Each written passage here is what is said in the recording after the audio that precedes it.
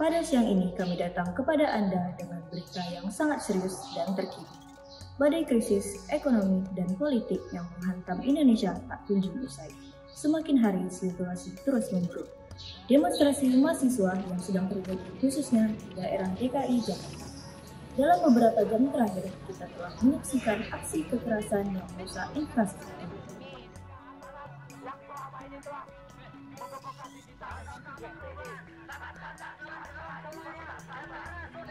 Tak hanya itu, sejumlah kekerasan juga terjadi di daerah-daerah.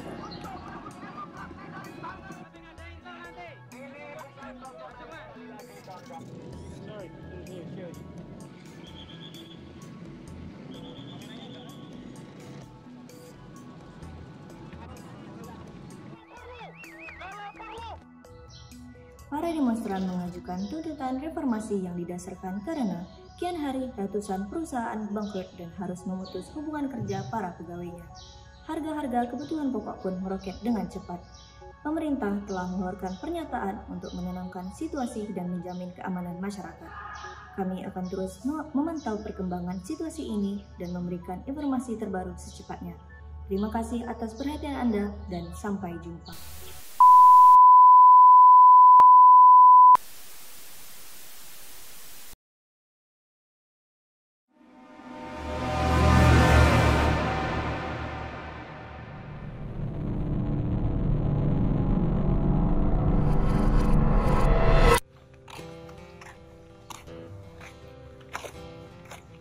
Di mana aja?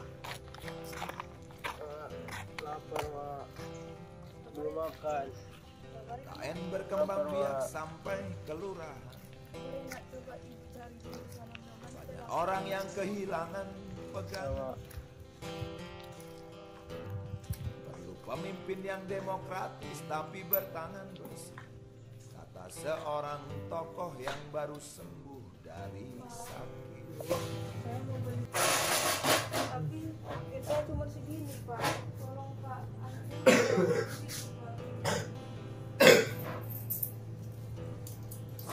Sementara rakyat tidak peduli siapa yang minta. Yang penting kebutuhan hidup yang wajar terpenuhi. Maaf ya bu, cuma bisa segini. Laparan kemiskinan dan pengangguran masih terjadi.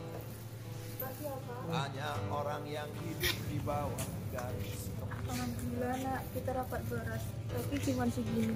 Gak apa-apa kan nak? Nggak apa-apa mak. Yang penting kita ada makanan untuk hari ini mak ya nak. Ya nggak apa-apa mak.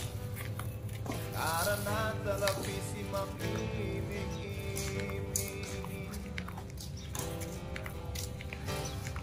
Yang jelas rakyat butuh pendidikan Tapi pendidikan yang didapat adalah mana maaf pak. Suami saya belum pulang pak. Banyak kali alasannya. Maaf pak. Udah bertahun-tahun saya di sini. Ada aja alasannya. Kamu saya buka. Ada.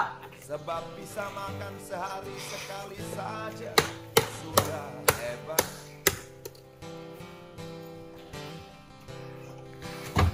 Jangan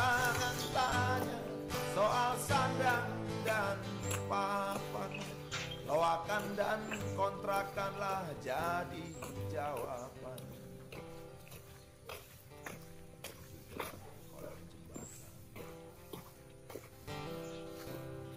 Kapan ya bisa kembali normal? Karena memang keadaan ini tidak normal Itu sebabnya bermunculan paranormal. Seperti jamu di musim aku juga nggak tahu. Terus kita harus gimana mas? Kita sedang tidak baik-baik saja. Rakyat biasa yang merasakannya. Falsafah hidup zaman sekarang. Sebenarnya sih dari zaman dulu Dari zaman orde lama, orde baru Dan sampai sekarang ini Zaman orde paling baru kedudukan yang hancur. Itu karena pemimpin yang hancur. Uang memang bukan segalanya, tapi segalanya butuh uang. Turunkan Soeharto dan segala antek-anteknya demi Indonesia lebih maju.